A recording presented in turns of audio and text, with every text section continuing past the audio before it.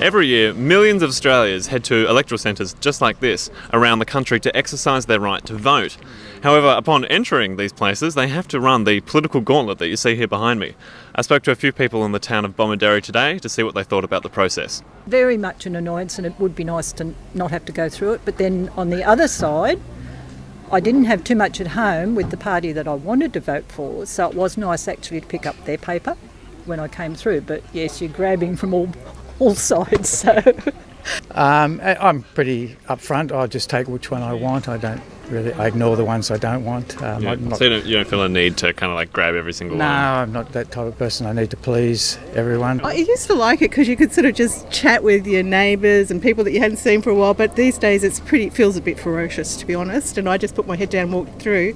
I also had a chat with those on the other side of the process. I feel there are a lot of people that haven't actually made a decision, and this is important, but at the same time, it's very overwhelming. So that's why we get a lot of people that just run straight through it.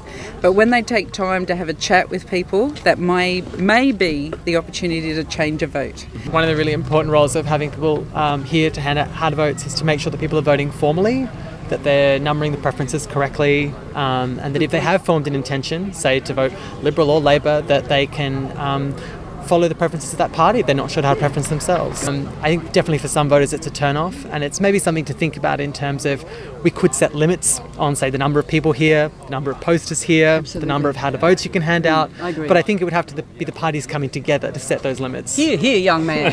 Here, here. we, we have consensus. Unfortunately, the political gauntlet isn't going away anytime soon, just one of the prices you have to pay to be part of the democracy that is Australia. This is David Barnett Clement for UOW TV.